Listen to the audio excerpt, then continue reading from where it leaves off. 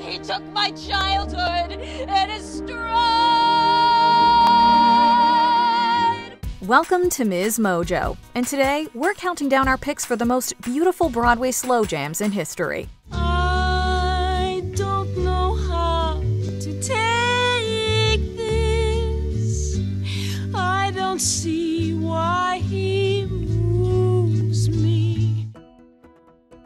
Number 10, Somewhere That's Green, Little Shop of Horrors. A matchbox of her own. A fence.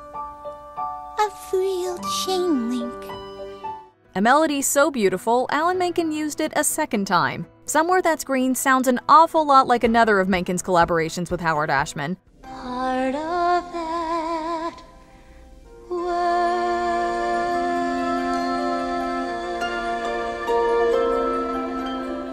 In fact, it's so similar to the Little Shop of Horrors track that the duo apparently nicknamed it Somewhere That's Wet. Either way, we've got to give it up for the original. Somewhere That's Green is sung by the character of Audrey as she discusses her desire for a regular old happy life. There's plastic on the furniture to keep it neat and clean.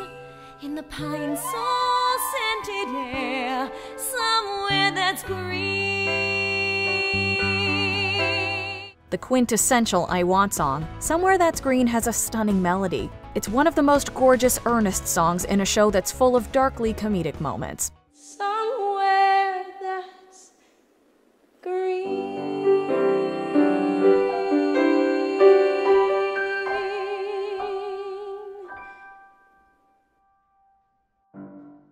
Number 9, Say It Somehow, The Light in the Piazza. Why don't you trace it on my hand or make a song? Do anything. Perhaps one of the most stellar Broadway scores of this century comes from 2005's The Light in the Piazza. Written by Adam Guettel, the musical follows a Southern woman whose daughter falls in love while the pair are vacationing in Italy.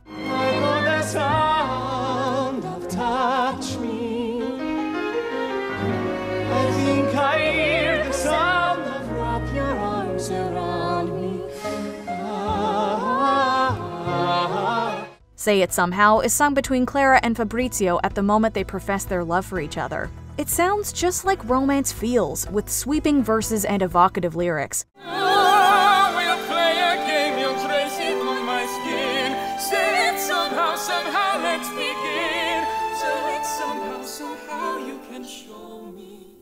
With music that's almost overwhelmingly melodic, the original production had a 15 piece orchestra that brought to life songs like this stunning duet.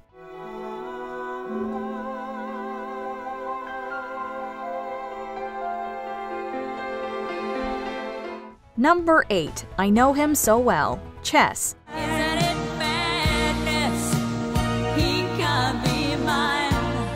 If there's one thing those ABBA boys know how to do, it's write a good ballad that makes a crossover hit. Chess might not be as popular as their other musical Mamma Mia, but it does have a number of amazing ballads. Anthem and Someone Else's Story could have easily made this list. In a way, it's someone else's story. I don't see myself as taking part at all. But we love a power ballad, and I Know Him So Well might have the most power of any ballad we've ever heard. Fantasy and freedom. I know him so well.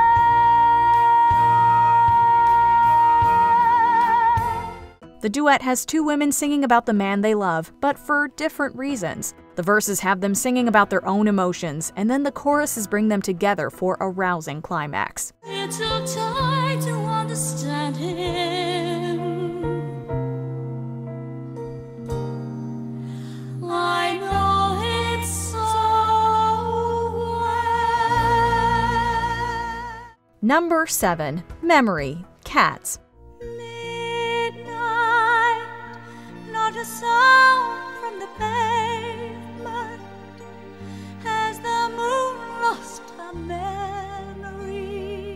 Everything about Andrew Lloyd Webber's Cats is a little bit silly, but between all the songs that are essentially just cats introducing themselves, there's memory. Say what you will about the content of the musical, but this song is one of the best ballads out there, in connection to the theater or otherwise.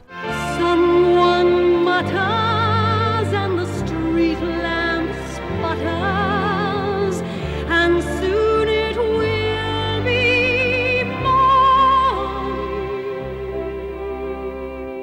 Sung by Grizabella the Glamour Cat, Memory has completely surpassed cats as a concept.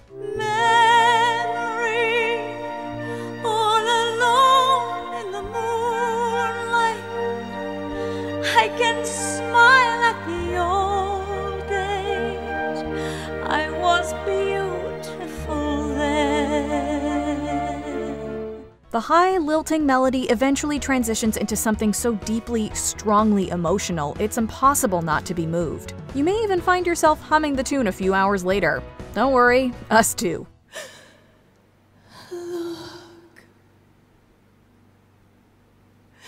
A new day. Number 6. She Used to Be Mine, Waitress. It's not simple to say. Most days I don't recognize me. It's hard to get a relatively new Broadway ballad into the pantheon of the best ballads ever, but back in 2016, Sara Bareilles did it. The musical Waitress benefits heavily from Bareilles' penchant for melody and sure pen. She is messy, but she's kind. She is lonely most of the time. All the songs are great, but the best of the bunch has to be She Used to Be Mine. The song comes at a turning point for our main character Jenna, who finds herself pregnant and stuck in an abusive marriage. Who was reckless, just enough. Who gives her, but who learns how to toughen? There's a complexity to the ballad as Jenna laments her old life and contemplates her uncertainty about the baby inside of her. Bareilles handles all those nuances with grace, and we ended up with a song that gives us goosebumps every time. She is all of this mixed up and baked in a beautiful pie. She is gone, but she used to be. Number 5. I Dreamed a Dream, Les Miserables. I dreamed a dream in time gone by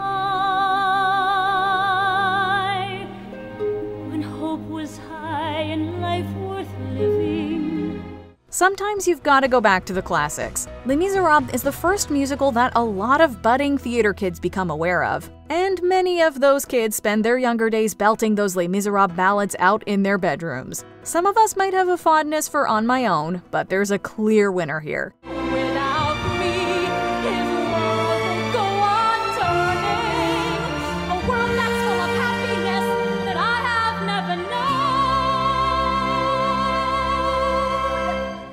Since the very first time Les Miserables took the stage, I Dreamed a Dream has been rising to iconic status.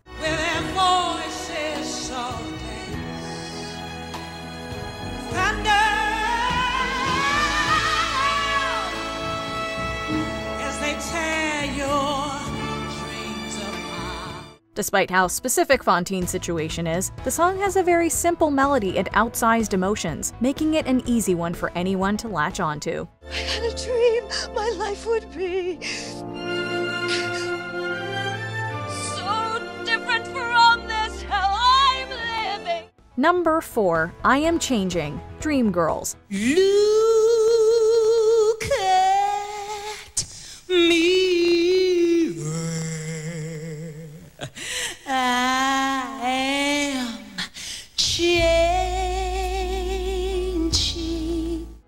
plenty of ballads in Dreamgirls that tug at our heartstrings, but this one makes us smile too.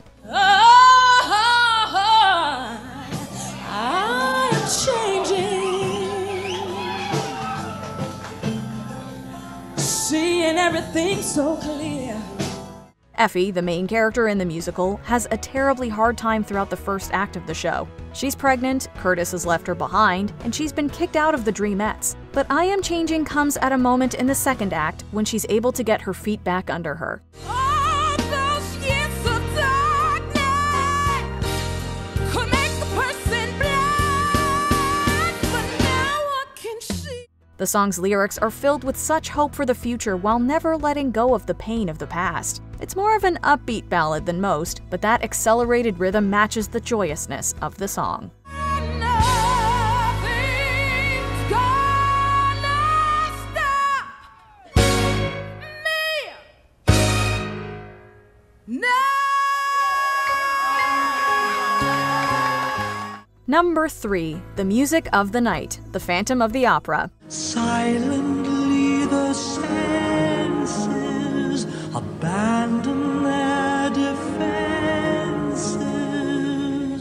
Listen, if Michael Crawford sang this to us, we might join him in his underground lair too. The Phantom of the Opera is one of Andrew Lloyd Webber's most well known musicals, and the music of the night might be its biggest hit. Turn your thoughts away from cold, unfeeling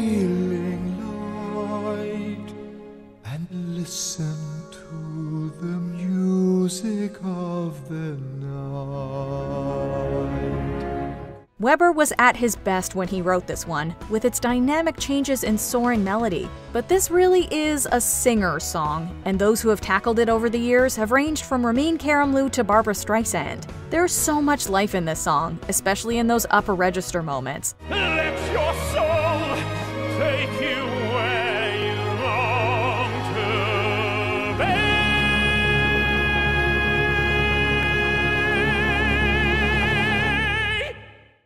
Wonder we keep coming back to it time and time again.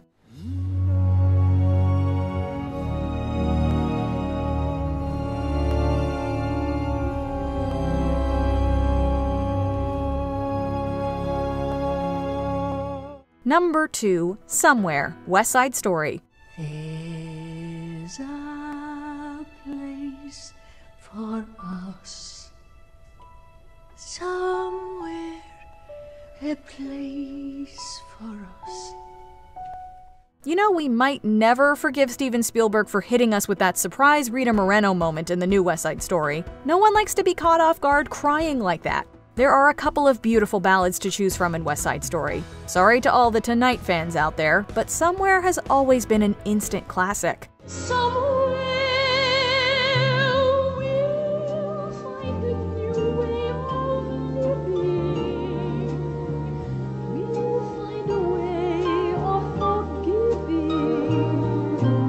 Leonard Bernstein's melody and Stephen Sondheim's simple lyrics combine to create something truly special. Somewhere is an anthem of hope and peace, and even though Tony and Maria don't necessarily get that peace, it's easy to believe they will listening to the song.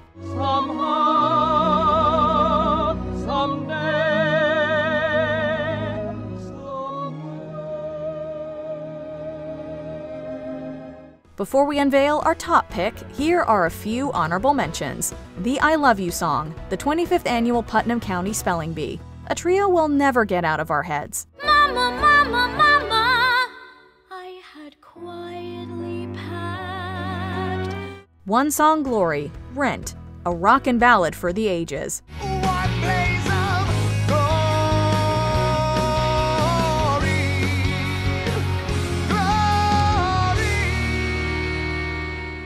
As Long as He Needs Me, Oliver. Nancy's song of love makes us weep every time. I'll love him right or wrong, and somehow I'll be strong. Joanna, Sweeney Todd, the Demon Barber of Fleet Street. We feel this ballad in our bones.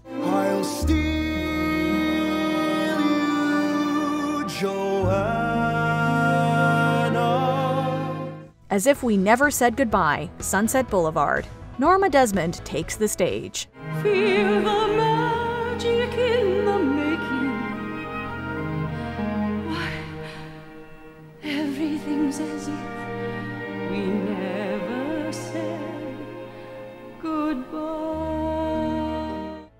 We continue, be sure to subscribe to our channel and ring the bell to get notified about our latest videos. You have the option to be notified for occasional videos or all of them. If you're on your phone, make sure you go into your settings and switch on notifications.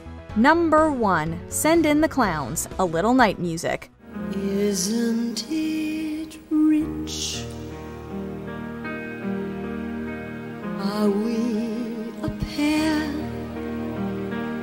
How could it be anything else? Stephen Sondheim put his whole self into this one. Or did he? The funny thing about Send in the Clowns is that it was written during rehearsals for A Little Night Music, one of the last to be added to the show. One who keeps tearing around.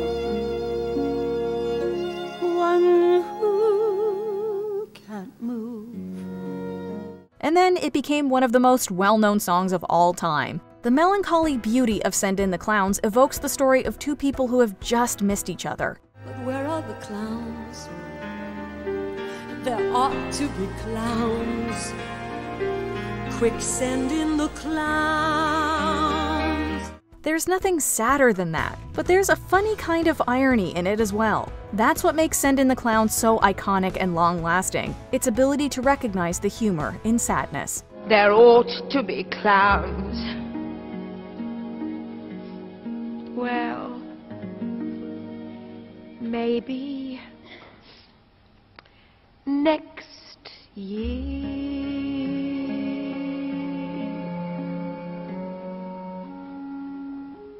Do you agree with our picks? Check out this other recent clip from Ms. Mojo. And be sure to subscribe and ring the bell to be notified about our latest videos.